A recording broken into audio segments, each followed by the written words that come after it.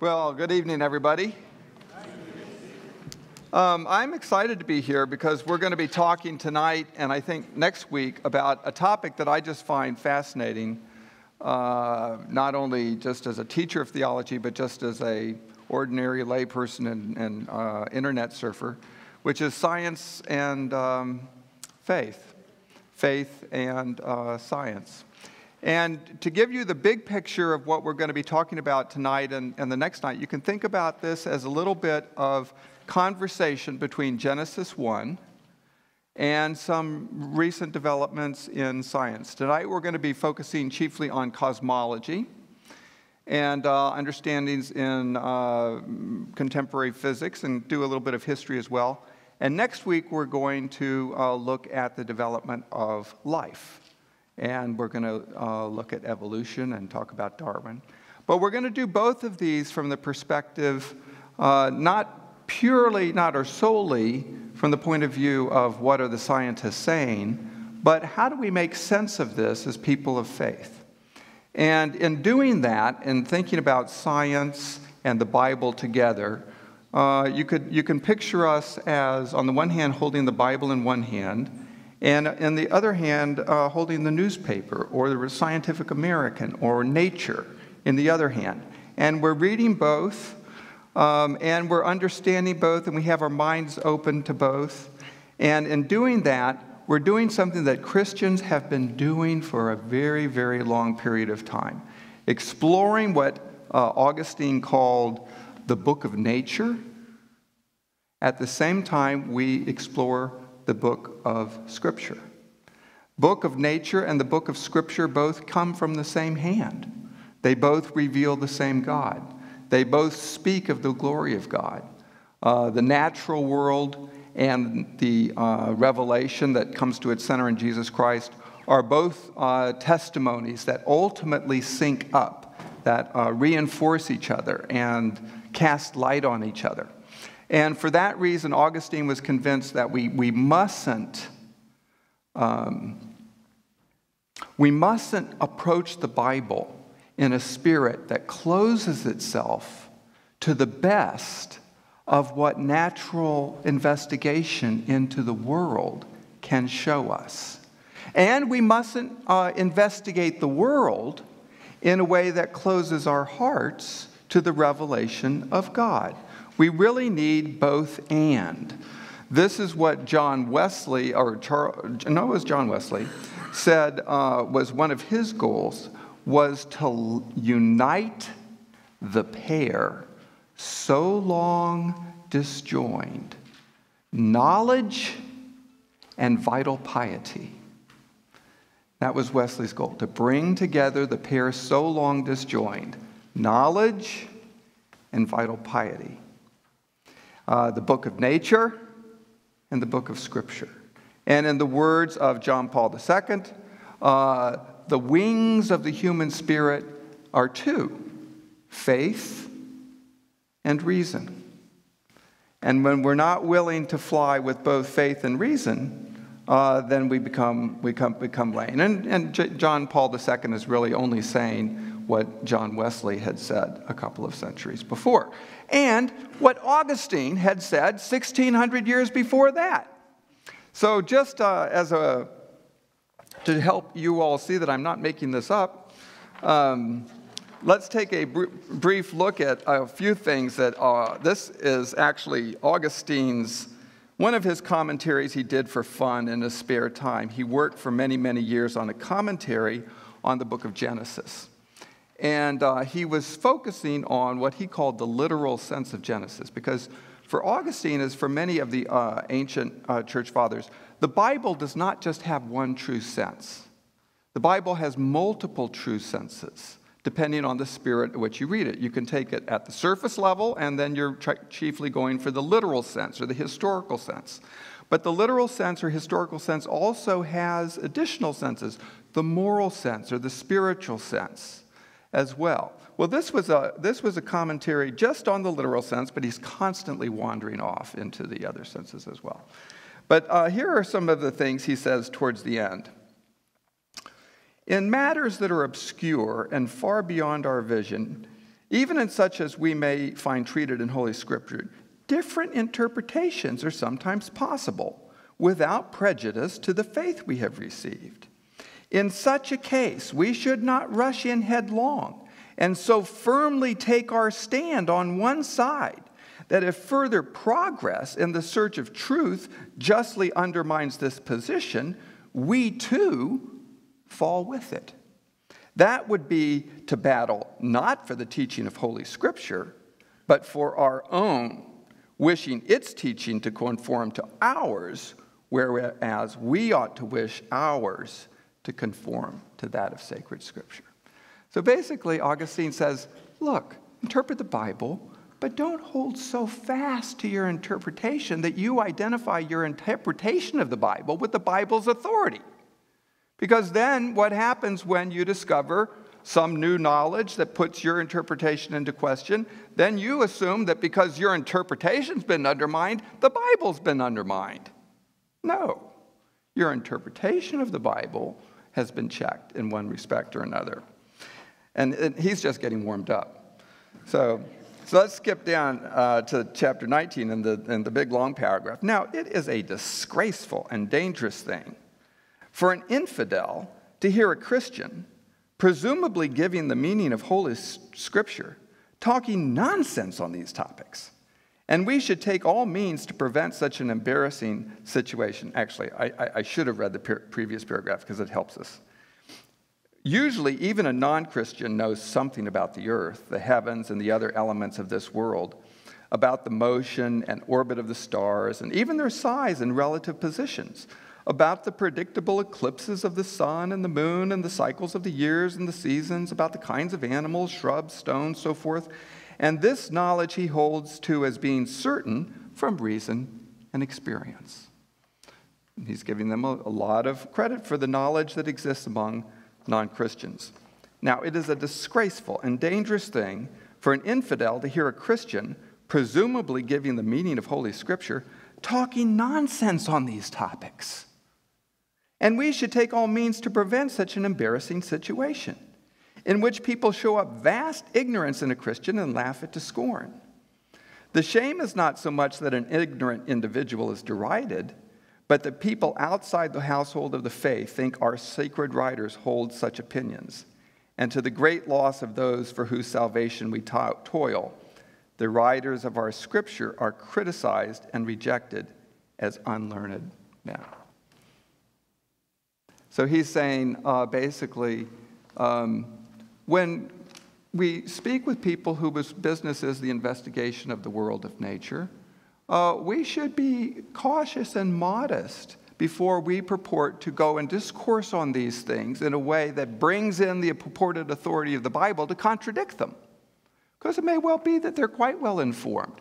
We should take, uh, be, have the modesty to consider, again, whether our interpretation of the Bible is really getting at uh, what the Bible wants to convey to us. So, this is just a, a little bit of lesson from an important figure in the past, reminding uh, us, and as we seek to understand our faith, um, to be modest, to be open to the learning of scientists and about, around us about the world, and uh, to um, have the humility to be instructed by others who, who know uh, and investigate things. On the other hand, it works the other way too. And these days, I'm sorry to say, there are people who presume to speak in the name of science and who presume to claim the authority and the mantle of science as though science had now somehow come up with discoveries that determined that faith and belief in God was, from a scientific point of view, nonsense. As though, as though science had made discoveries that led, that proved the, uh, the irrationality and the not, uh, of belief in God. Um, we have a number of folks, unfortunately, who are making a lot of money these days writing books. Richard Dawkins uh, is an example. Um, the, the, uh, the God Delusion is one of his books. Richard Dawkins is a wonderful writer, and uh, knows a lot about evolutionary biology.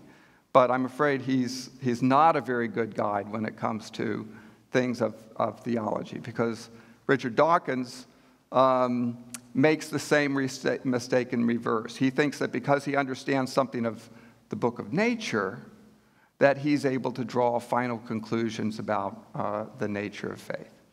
So, what I want to do uh, tonight is um, do a little bit of investigation, do a little bit of exploration about how our understanding of the world has developed over the last um, couple of millennia, really, and bring us uh, up to the present day and to some very exciting developments in cosmology and some of their, their significance. Um, we'll ask along the way, from time to time, what these uh, um, discoveries mean uh, for our faith. And I think we're going to make a very surprising discovery. When we look at things in the big picture, where human knowledge has gone over the last two millennia, what we discover is far from disproving Christian faith or the biblical report, in a very surprising and almost eerie way, a lot of science is unfolding in ways that support, uh, confirm um, basic affirmations of the scripture. Now, I'm not going to say science proves the scripture, but I will say that science is consistent with it and, and supports it. And uh, because that's so surprising in some ways, it's not something that we hear a lot on television, but it's true. anyway. So let's go back, let's transport ourselves back a couple of millennia to, um, in fact, two and a half millennia, about 400 BC, to the time of Aristotle in Athens, about 400 BC, 350 BC and uh, ask ourselves how did Aristotle understand where the natural world had come from? Now, Aristotle uh, was uh, an inheritor of traditional Greek myths, but as a student of Plato, Aristotle's aim as a philosopher and a natural scientist, because uh, Aristotle was not only a philosopher, but he was really, in his own day, a natural scientist. He was a botanist. He investigated animals and their structures. He did embryology. Uh, and um, he really created the foundations of our classification system of how we classify things into genus and species. Uh, these, these things come from Aristotle and from his inquiries into the natural world. And he also studied astronomy and uh, the, the, the, the orbits of the planets and the stars. And he, was, he would ask questions about where things came from. But he would try to do it in a way that didn't rely on the inherited myths of Greek religion. He would try to do it insofar as he could right by relying on observation, reason, and experience alone. So if you're working on the, those bases alone and you ask, where did this phenomenal world come from? Where did the stars come from? Where did this ecosystem that we live in come from? If we've got that, and we've got a few principles of logic, such as nothing comes from nothing. It's kind of just a basic logical principle. Nothing can come from nothing but the world is here, then it seemed to Aristotle that the most likely explanation of the world was the world had always been here. The world was eternal. The universe was um, a kind of a steady state system. It had never come into existence. It had never, would never, in all likelihood, pass out of existence. It simply was. And Aristotle did have an understanding of God within this system, But we have to understand that for Aristotle, God is not a, a creator. God is really just the highest principle of um, motion in the world. So we need, uh, we've got a world that exhibits um, life, and what does it depend on? Well, on the seasons. But what generates the seasons? Well, the rotation of the sun and the moon. So uh, this, this life on earth seems to depend on celestial bodies. Well, what are the celestial bodies? What causes them to turn? Well, Aristotle thinks that, that each layer of the, of the orbit of the stars probably depends on a orbit further out. And so he's led to postulate um, a, what he calls an unmoved mover. Somewhere in the skies, that is the ultimate source of motion in the world. And for Aristotle, that's where uh, the, the um, energy comes that keeps the world in motion. It's like a little bit like a mobile or uh, wind that keeps the turbine coming. But God doesn't actually create the world, He simply provides its energy inputs into it. Now, we can give a name to this basic picture. Let's call it a steady state universe. Steady state universe is simply the conception that the universe is what it is, always has been, always will be. Steady state. Now, interestingly enough, the idea of a steady state universe was uh, the default way of understanding the world from a scientific and philosophical perspective. From Aristotle until, guess when? 20th century. When Einstein was born, the steady state model of the universe was the dominant way that scientists assumed the universe.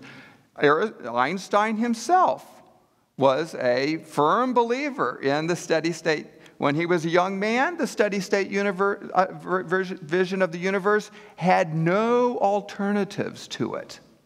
When Einstein died, he realized he'd been wrong, and, but so had everybody else, so he didn't feel too bad about it. Um, but uh, that happened just in the course of his, his own lifetime. Well, uh, that's quite an extraordinary transformation. Let's go back to a point, point halfway between Aristotle and Einstein. Let's take a figure like Thomas Aquinas. Thomas Aquinas lives in the 1200s. He lives from 1225 to 1274, lives only 49 years. One of the most magnificently productive intellectual lives uh, that anybody's ever uh, enjoyed. 49 years old when he, he passes away. By the way, after having written so voluminously, uh, towards the end of his life, he stopped. He didn't actually write, he dictated, and he would wear out six secretaries a day. Um, and uh, they would just come creeping out of the room. And, uh, and Thomas would send the next one in, send the next one in.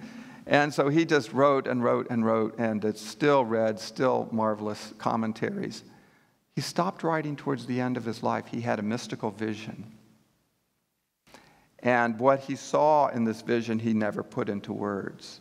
It, it confirmed his faith uh, in God, but it led him to think that uh, what he had spent his time writing on had been not as important as he thought he was. It's, it, it's straw. What I wrote was straw. Well, we're still processing the straw. Um, but Thomas Aquinas had, on the one hand, the book of nature, and on the other hand, the book of scripture.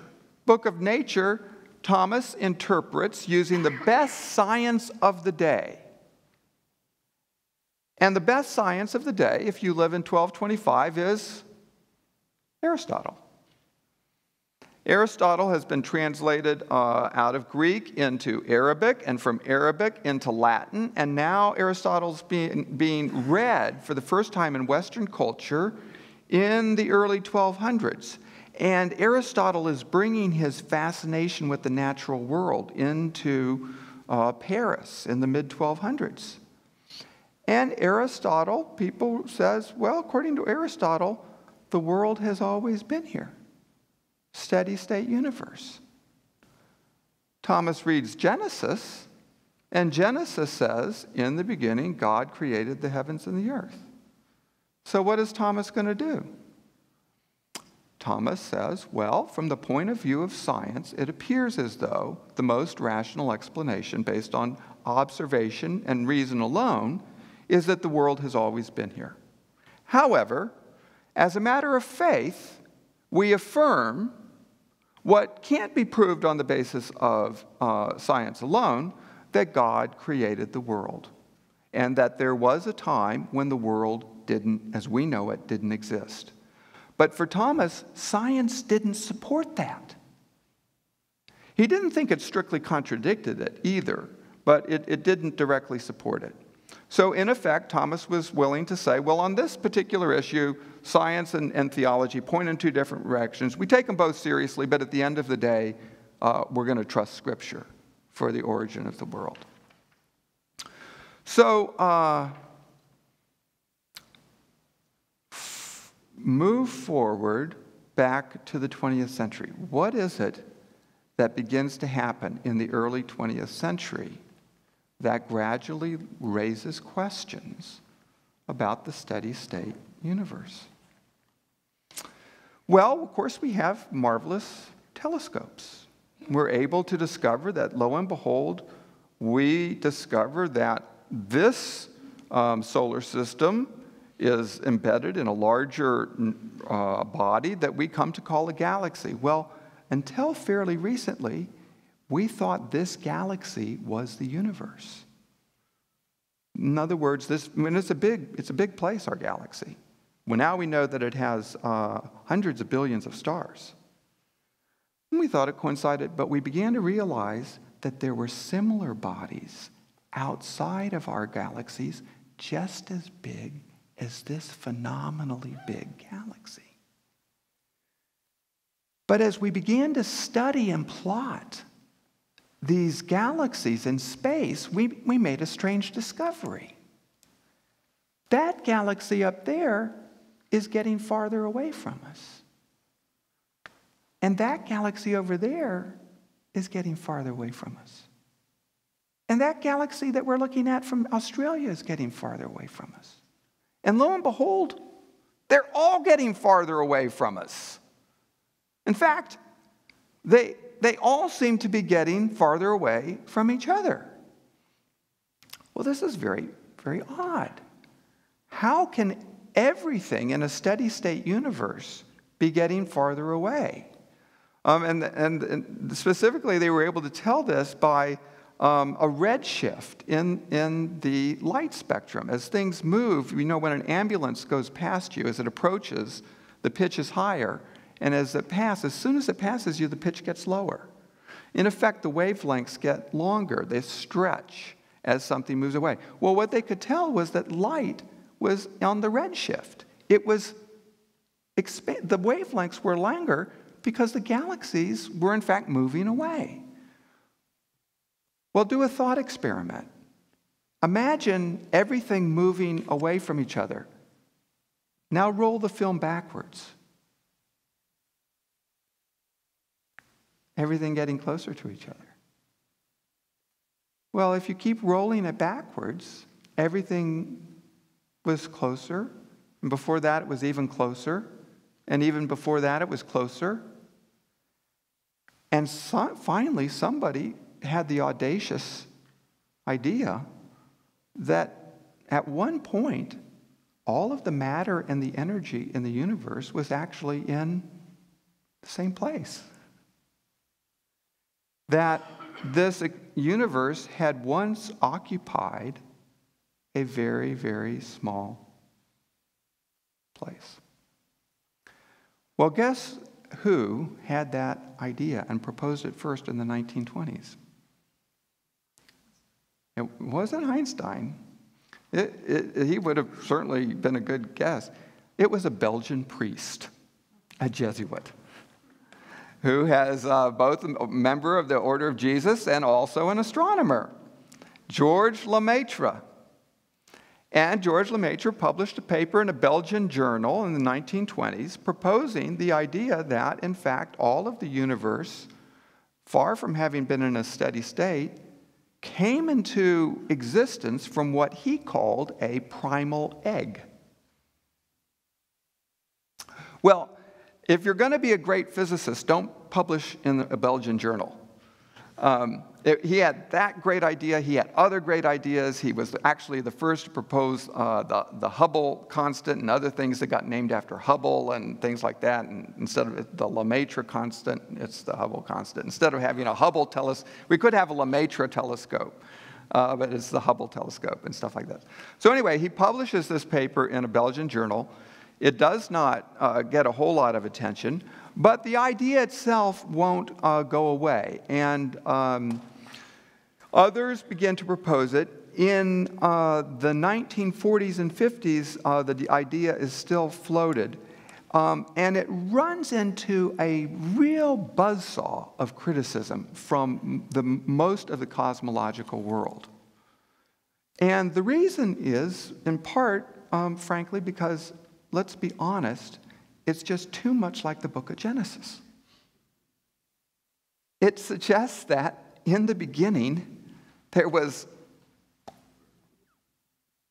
a act that caused this tremendous world to come into existence. And the fact that it came from a Belgian priest, you know, didn't do it any favors either. Um, so the idea of the world coming from a primal egg really had to fight for life uh, against a great, a great deal of skepticism. Um, in the 1950s, I think it was, George Hoyle, who was a very fine uh, physicist in his own right, was speaking on the BBC.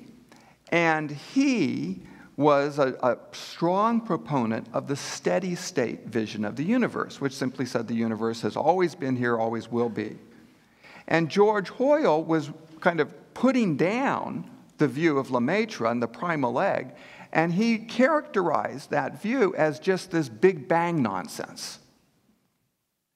And so it was George Hoyle who gave the name Big Bang to uh, the idea that was originally um, proposed by Lemaitre. Well, in time, uh, and here's uh, Einstein didn't like it either. Um, my French is very bad, but um, is anybody good, good, got a good French accent? I know somebody does. You're not. You're just being modest. Okay, so you got to hear my. Vos calculs sont corrects, mais votre physique est abominable.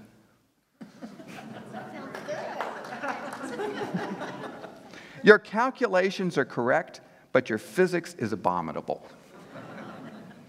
That's what uh, Einstein had to say about Lemaitre's idea of the primal egg. Um, okay. So, what began to shift opinion? How come now we take what nowadays steady state universe is a minority opinion. You have to really be extremely creative to figure out how ways to defend it.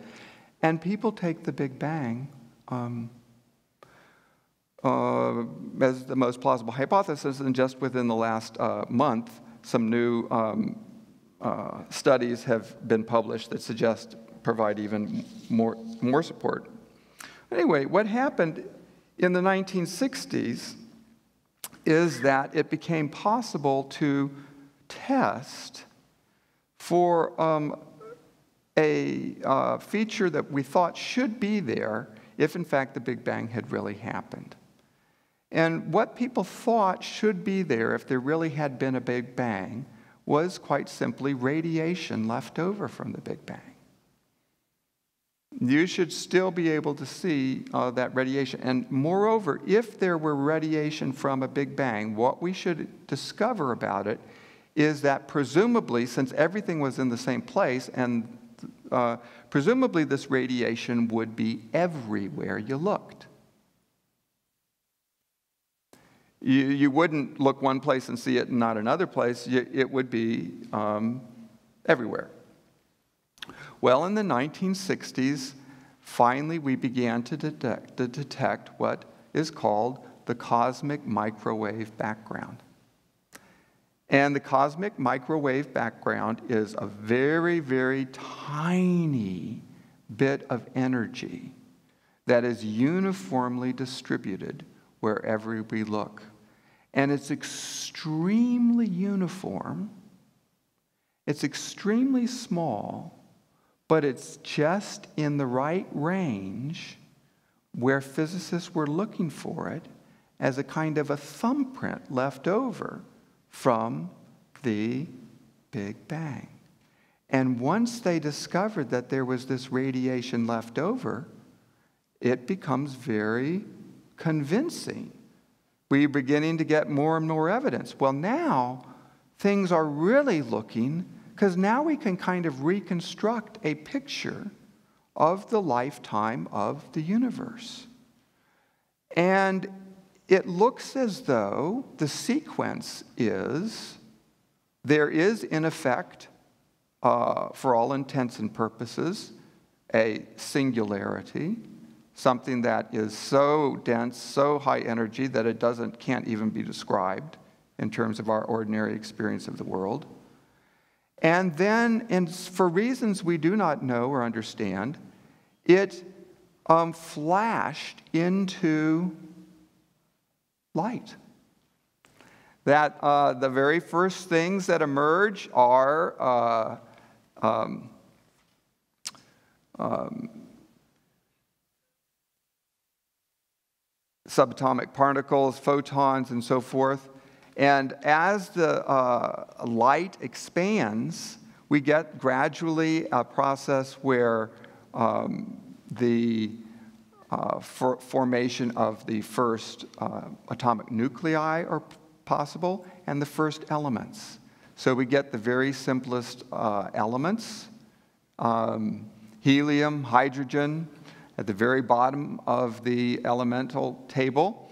And gradually, as the universe expands, we have what comes next. Well, let's see in Genesis, how does it go? Light, and then, isn't it sun and moon?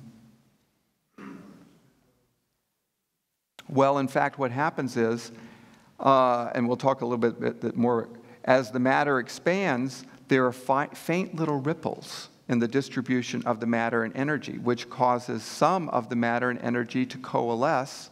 Energy and gravity begins to work, do its magic, pull it together, and you have the creation of the first stars. And so next comes the stars. And the stars go through their lifespan burning hydrogen and helium and the, uh, the elements at the bottom of the elemental table. And then finally, they consume all their energy, and there's no more to burn, and it all implodes under the force of gravity, goes back, and then kabam, explodes. And in the tremendous heat of the exploding stars, you get the creation of the higher and more complicated elements on the periodic table and iron and oxygen and gold and silver and all this stuff is exploded out and becomes the matter that gradually is coalesced into the next stage. And so, from the process of light to celestial bodies, you gradually have, through the lifetime of stars and the production of stardust, the possibility of planets that have multiple kinds of elements in them, and that in time produce uh, what we experience as life, beginning with the things that swim in the water and fly in the air and creep upon the ground, and the, uh, things of vegetation. And then finally, in a ge- geological blink of an eye, uh, just recent and past, we have human beings. So we go from a steady state universe in Aristotle to a picture of the universe that is uncannily, I'll just speak for myself, you don't have to agree with me, that is uncannily like the beginning of Genesis. And that suggests that um, uh, there is uh, something, um, I don't know, the more, the more we get to know the book of nature, the more we have reason to take the book of Scripture seriously. And the more we get to know the book of Scripture, the more it leads us to see the same hand at work in, in the book of nature. So, uh,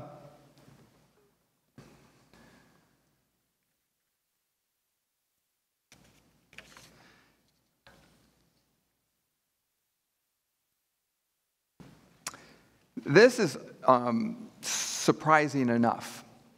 And yet, in, since the 1960s, our um, understanding of the cosmic world has continued to develop. And in some ways, the biggest surprises are, are, are even more recent than that. In the last 30 years, things get even more uh, fascinating and interesting. Um, one of the things we discover is how little we truly understand, or to put it a different way, how fantastically mysterious this world is that we live in. Um, and I, I just want to underscore this idea. Part of what science teaches us is that the world, and we, if, we, if we generally approach the world in a scientific um, attitude, uh, teaches us how magnificently mysterious uh, this world is, how much uh, depth of um, uh, magnificence it has. Um, now, I say genuine attitude of science, and I'm distinguished that from what I, I think we could call a scientism.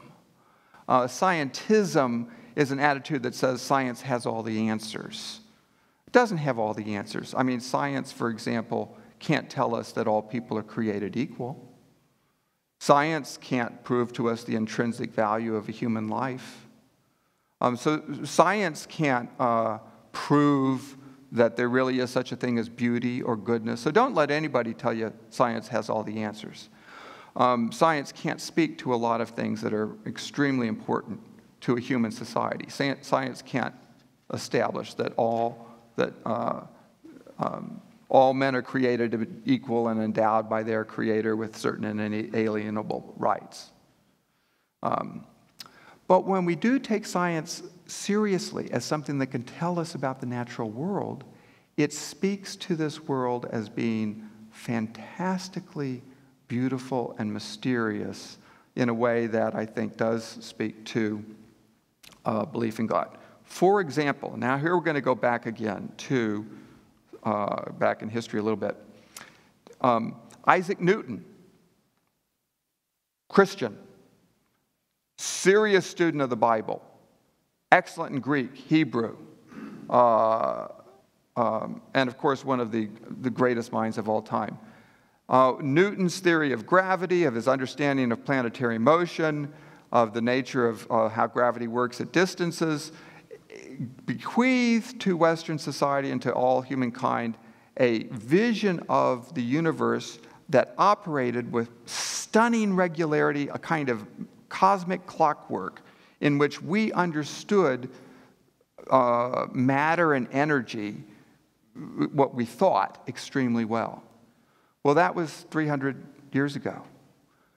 What's happened more recently is that the Newtonian view of the universe, we've begun to discover, um, is incomplete, that we um, to, to describe the world we see, we have to postulate dark energy and dark matter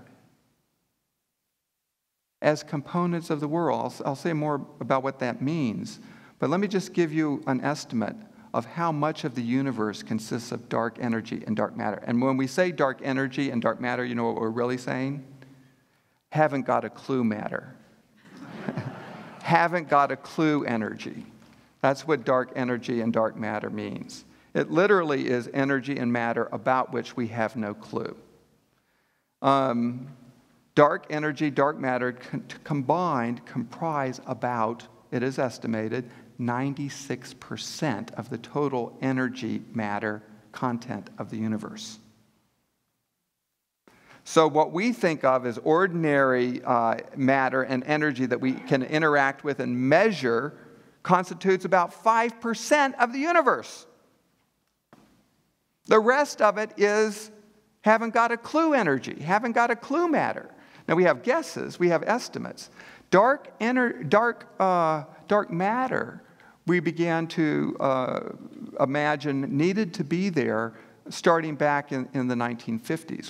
What we began to realize as we studied the structure of galaxies is that the size of galaxies, you know how galaxies have this wonderful spiral shape? Well, they're spinning. And we can judge by the spin that anything spinning with that much mass at that speed, the matter ought to be flying apart. It ought to be moving away from the center, but it's not. It's holding a, an integral shape. Well, what's, hold, what's keeping it there? Well, matter, that would make sense if there were matter that was exhibiting gra- gravitational force. And so that's the postulate. That's dark energy, um, dark matter. Dark matter is matter that needs to be there in order to explain uh, what appears to be the operation of gravity uh, on things we can see, but we don't know what that, ener- what that matter is. So that's dark matter. Dark energy is a little bit more interesting in some ways because it's, it's even a more recent discovery.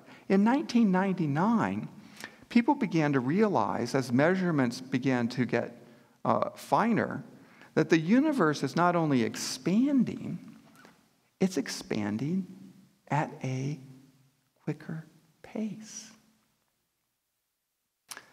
Well, this is really weird because ordinarily an initial energy will not, inertia will, will, will have a, a property, you know, friction and so forth, things will coast, slow down.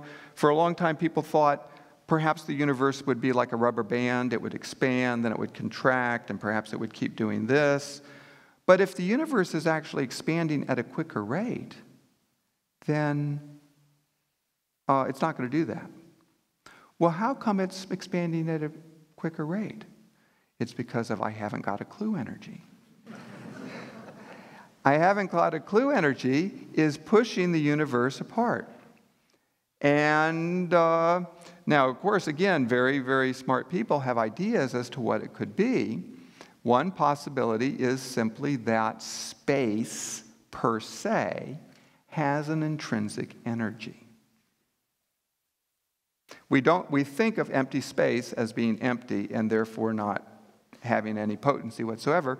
But the thought is perhaps empty space is really not, uh, has a energy that is intrinsic to space. This was actually, interestingly enough, an old idea from previous centuries that Einstein for a time entertained and then rejected and said it was his biggest blunder he ever embraced it. He shouldn't have. Well, people are now calling it back in. Maybe Einstein wasn't wrong. The, uh, the idea of an intrinsic energy to space would account for how come as the universe gets bigger, there's more space. Hence, the energy would be bigger. Hence, it would expand at an ever increasing rate. And that is, as far as I can tell, the most common view among physicists these days. This is that it's an intrinsic property of, of space. It's certainly being investigated. There is one problem with that particular theory.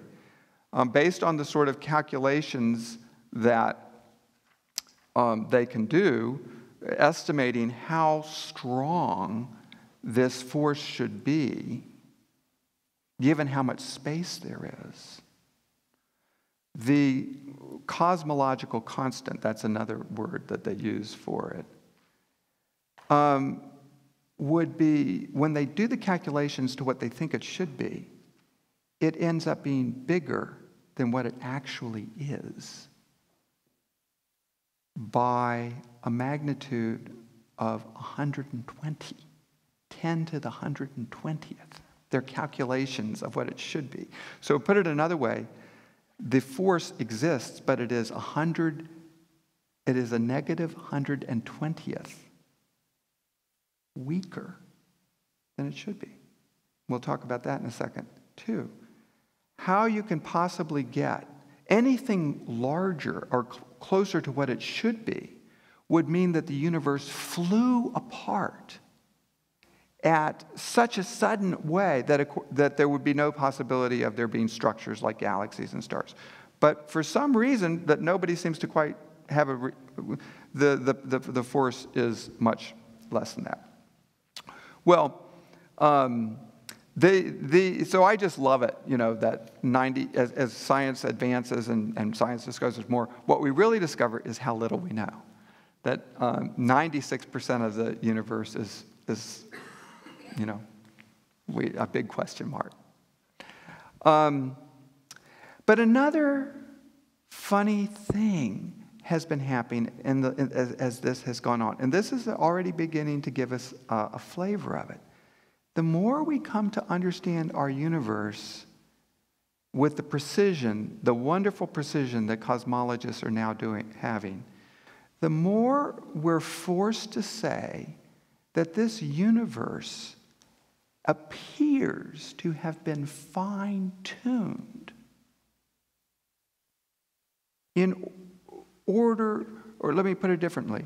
Given the fact that this universe exists with galaxies and planets and stable structures like the Earth, which have been here for five billion years, the, the properties of the physical laws that we understand would need to have been fine tuned to permit uh, a universe of this kind, fine tuned to a mind boggling degree. And we cannot give any good reason for why the universe exhibits these fine tuned qualities that seem to be uh, tuned as though somebody had had, you know, we'll just take an arbitrary number, 20 dials each of which could be set at a fan, needed to be set at a fantastically fine tolerance. If you deviate even the slightest, you will set the ratio of protons to neutrons, of gravity to the electromagnetic force uh, in such a way that the formation of galaxies and so forth would be impossible.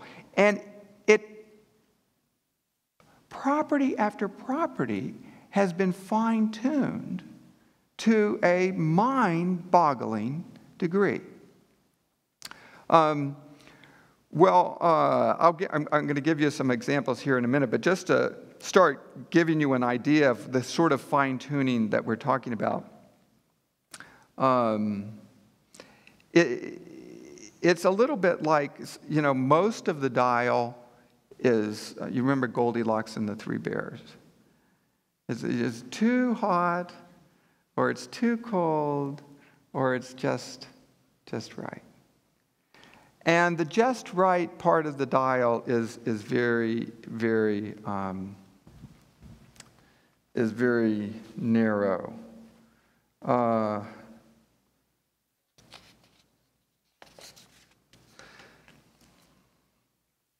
let's take, let's go back to a point we, we measured early. I mentioned earlier. Big Bang. Big Bang distributes energy and mass uniformly. That's how come the cosmic mi- microwave background is, is very, very even. Ah, but let's say that the Big Bang had been distributed energy and matter exactly evenly, perfectly evenly then every single particle in the universe would be moving away from every other single particle. You follow me? Because if it were exactly even, then everything would be moving away from everything else.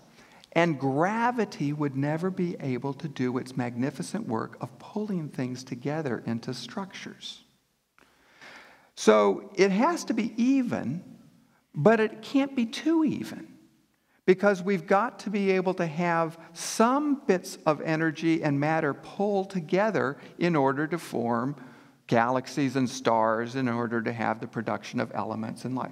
Okay, but if things are too uneven, then matter and energy clumps together too much, and instead of having galaxies that distribute it over large uh, spans and can have long lifespans, you just get a universe filled with a handful of huge, massive black holes. So you've got to have a, an, an initial explosion that distributes energy and matter evenly, but not too evenly, in order to create ripples in the universe that become the structure of galaxies and galaxy families and so forth and so on. It's like the chocolate in your Rocky Road ice cream. It's, it's got to be there, and it's, if it's everywhere, then you got chocolate ice cream. Um, but you want Rocky Road, you just want the ripples. And uh, that's what we've got a uni- we've got a Rocky Road universe where the well, what is the fine tune? What tolerance do you suppose was necessary in order to get the distribution not too regular, not. Well, the back of the envelope thing that they say is, is one in a hundred thousand. So the fine tuning there, if it had been, um, if it had been uh, off by the measure of one in a hundred thousand, then the universe would either be too fine to create the structures that we have, or the structures would be too massive. Now, I start with that one because you all, you all can understand what 100,000 is. That's a nice human number. Um, yeah, uh, there was once upon a time when 100,000, you know, was, was the kind of money that governments paid attention to and things like that. Um, but uh, it's, still a, it's still a number that's respectable, we, what we can imagine it. Well, um, when we start talking about some of the other fine tunings, we're going to a whole different place where the degree of fine tuning is um, uh, different. But, and I, I, will go there in just a second. But let, give, let me give you another example of, of a kind of a, a more ordinary homegrown fine tuning that's uh, very important to he- life here on earth um, water. Uh, as we know, uh, so far as we know, life is, is dependent on water. Living things are, um, in large quantity, um, uh, consist of, of water, and um, uh, all living things that we know depend on it to some degree or live in it. Yet, water has at least one extremely unusual feature to it. Uh, ordinarily, when things get hotter, what do they do? And when they get colder, they. Virtually everything that we know of as it gets hotter expands. There's one exception water. As water freezes, it actually expands. Now you would think, so what does that do? It means your ice cubes float, for one thing. Um, but more importantly, what it means is that when winter comes on planet Earth, the ice forms at the top of streams and lakes and that's extremely important because it means that underneath the ice, life continues. Now, if water contracted, ice as it formed would become heavier than the surrounding body and it would sink.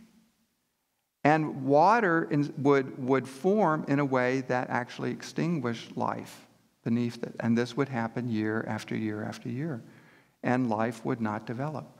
But because water expands, you've got a surface, uh, and for um, the uh, habitats below, So that's another example of, of fine tuning from our ordinary experience. Well, let's take a look at some others.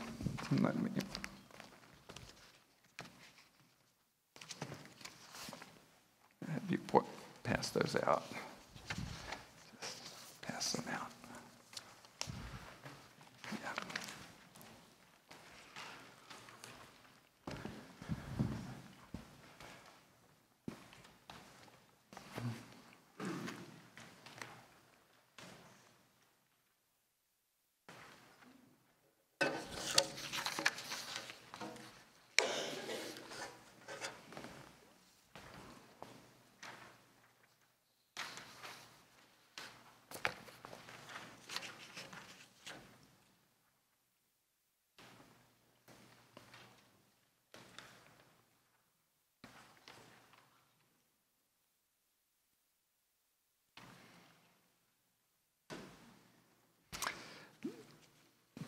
Now, I uh, have you all got, got those? Have they made their way into the back? Oh, are we? Okay, sorry about that. I um, maybe some of you can share. Uh, so these these are a number of different. If you were to have uh, three different um, physicists give us fine tunings, they might well. Uh, uh, let me start a different place.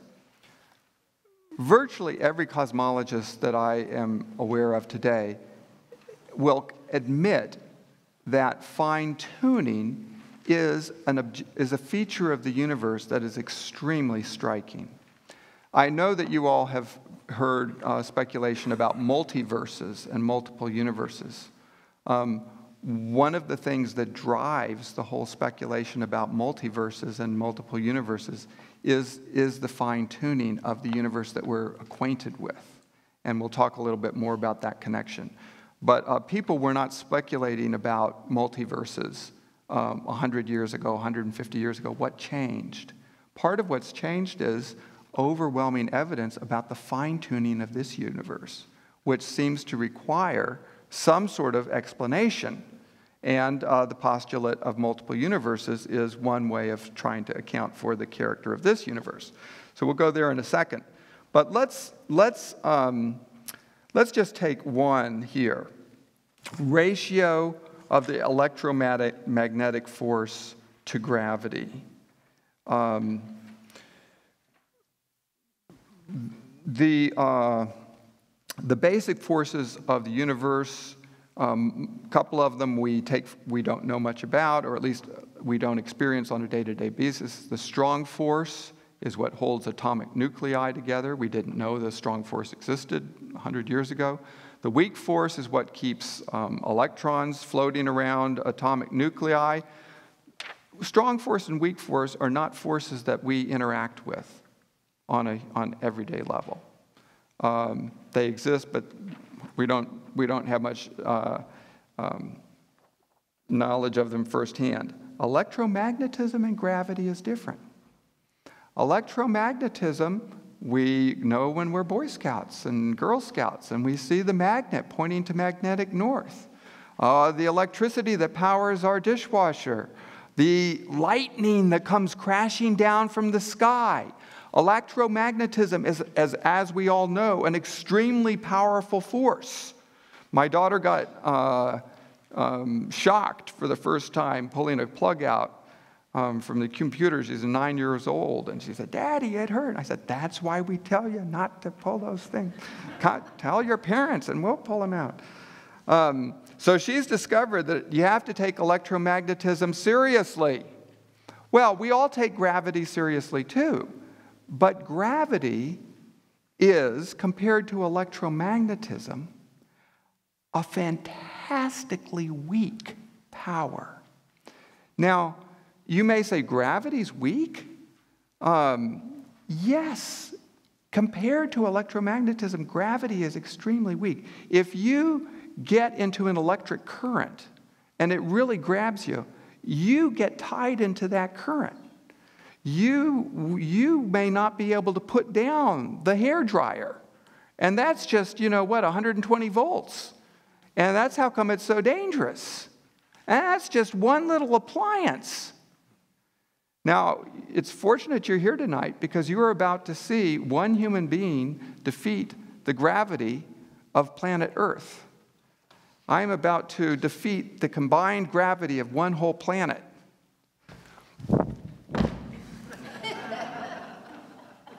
Now, granted, I did not defeat Earth's gravity for very long, but I did defeat it um, for almost a second. So think about it. All of the gravity of planet Earth working against me, and for one second I was stronger than it. So that tells you that the power of gravity, and then compare that to the electric hair dryer. So the relationship of, of gravity is a, a very disproportionate. Okay. So we calculate that out. What exactly is the relative strength of electromagnetism to gravity? How much work do they do? Uh, well, uh, a big difference, a big difference. But in order for the universe to exist with, that permits the sort of structures that we know of, uh, with galaxies and light and so forth, the relationship of gravity and electromagnetism must be balanced. If gravity were a little bit stronger or a little bit weaker, or if electromagnetism were a little bit stronger or a little bit weaker, then uh, gravity would either be too weak to hold together the universe and permit electromagnetic reactions uh, to take place, or it would be too strong and everything would be basically one big black hole. How fine does that balance need to be? Okay, before we talked about a ratio of 1 in 100,000. It's calculated that this ratio is about 1 to 10 to the 40th. 10 to the 40th is 10 with 40 zeros after it. That is a number that is so big that we can't put our heads around it. Let me give you uh, an illustration of what 10 to the 40th would be like.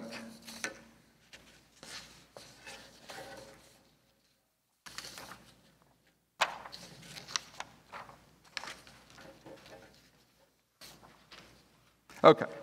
10 to the 40th. This is actually 10 to the 37th, but it's close enough. Yeah. Oh. We, 10 to the 37th. Okay. Imagine a continent like North America. Cover the continent in dimes. Now take your pile of dimes and carry it all the way to the moon. Um, now, just to give you a point of comparison, if you take the national debt in dimes, it's about um, I think it's about a square mile or so, and it's about three or four feet in dimes. So, but now we're talking about a continent in dimes all the way to the moon. Now do that a billion times. Now take one of those dimes, don't peek, paint it red, and hide it. Now, go find the red dime. That's 10 to the 37th. The, the total number of atoms in the visible universe is estimated to be about 10 to the 80th. That's a big number. But the tolerance that the cosmological constant needs to have in order that the universe not fly apart is estimated to be 10 to the 120th.